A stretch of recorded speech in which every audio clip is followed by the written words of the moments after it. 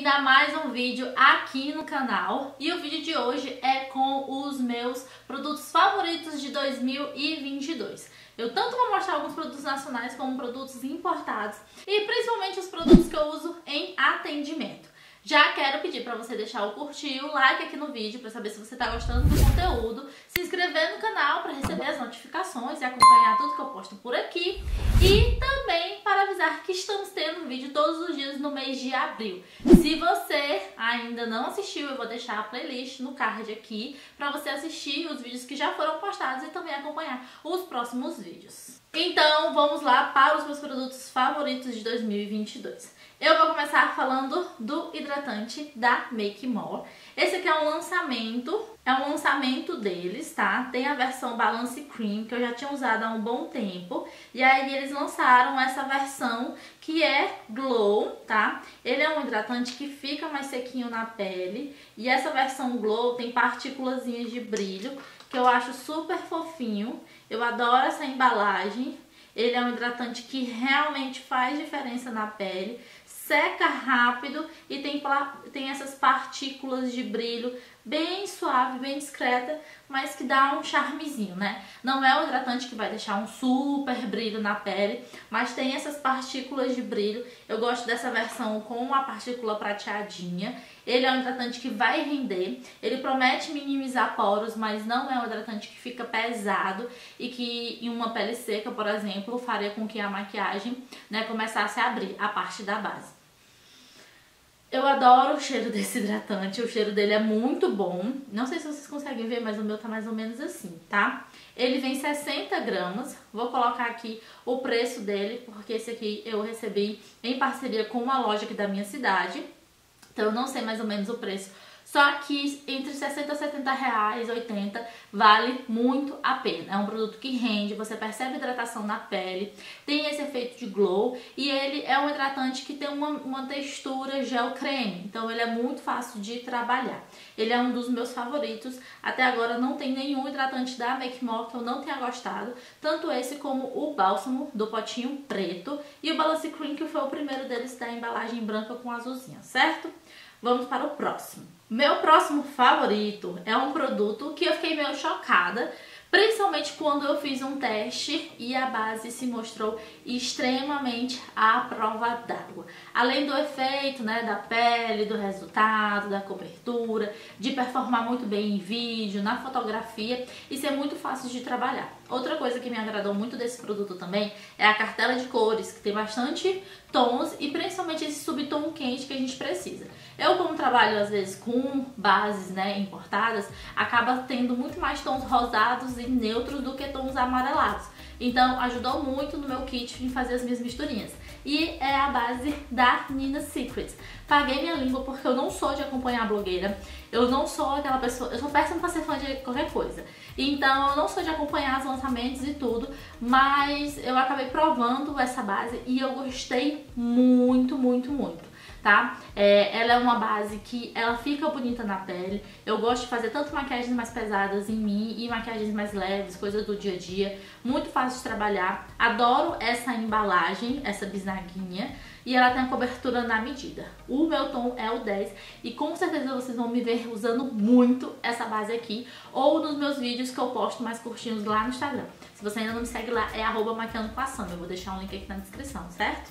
E aí o próximo favorito é um produto que fez muita diferença na preparação de pele, na minha preparação de pele, em relação aos atendimentos e principalmente na construção de uma pele resistente, certo? Esse produto ele não traz essa resistência, mas ele faz parte do passo a passo dessa técnica técnica essa que eu ensino dentro do meu curso de pele, né? A técnica de pele resistente. Então muitas vezes a pessoa pensa, ah, é esse produto. Não, não é esse. É o passo a passo da técnica. E eu adotei esse produto nas minhas preparações de pele e ele faz muita diferença. Que é o Oi Shine da Thalita Barrichello. Eu tenho tanto o bronze, mas eu já usei o rosé também.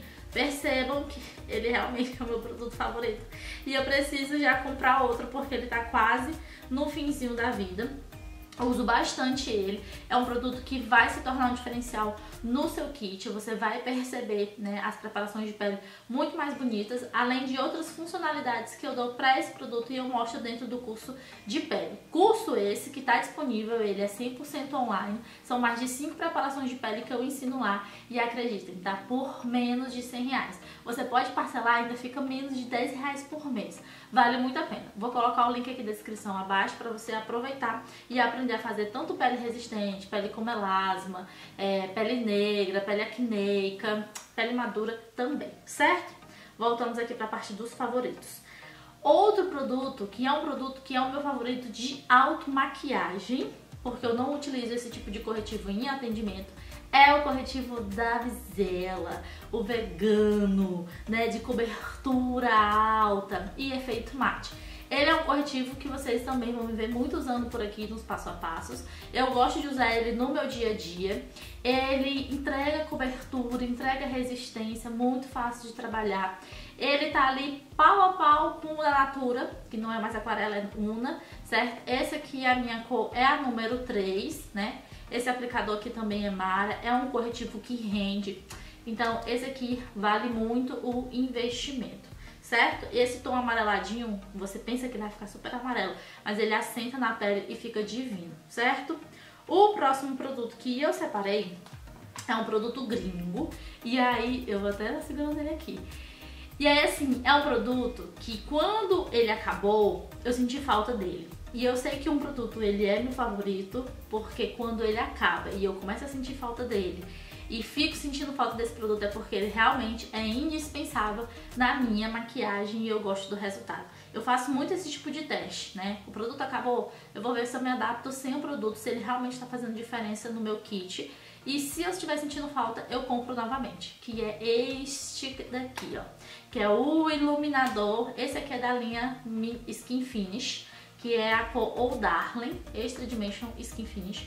Percebam que o meu está no finalzinho da sua vida, né? Ele rende muito. E aí eu digo mais, gente. Eu não sou uma pessoa que faz investimentos extravagantes é, em produtos que eu não vejo, sabe, sentido. Por exemplo, iluminador. Não vejo sentido em comprar um iluminador de 250, 300, 350. Eu gosto de fazer investimentos mais altos na parte de preparação de pele, pré-pele, base, corretivo, hidratante, pó, nesses produtos, sabe? Em vez de um iluminador, porque a gente tem muito iluminador mais acessível que entrega qualidade. Mas eu encontrei um certo diferencial nesse aqui, ele é muito fácil de trabalhar, ele deixa um brilho ali muito bonito, muito fácil de esfumar, ele casa em vários tons de pele, principalmente porque ele tem um subtom quente, então, então dá pra trabalhar ali, dá pra fazer umas misturinhas, dá pra fazer tudo.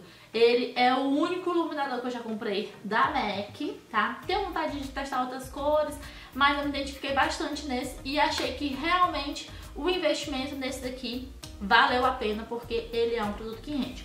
Obviamente que eu não tenho só ele, eu tenho outros, mas ele é muito usado e ele rende bastante. Então vale a pena esse investimento aqui. E foi o único investimento nesses tipos de produto que eu acabo sempre dando uma regradinha e deixando foco como um shine da vida, bases, né? Esses outros produtos aí na parte da pele que eu gosto de fazer um investimento é, mais alto, mais significativo, algumas coisas importadas e por aí vai, certo?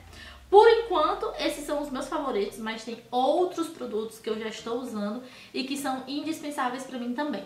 Se você quer uma parte 2, comenta aqui embaixo, não deixe de comentar e também não deixe de dar like no vídeo e de se inscrever no canal.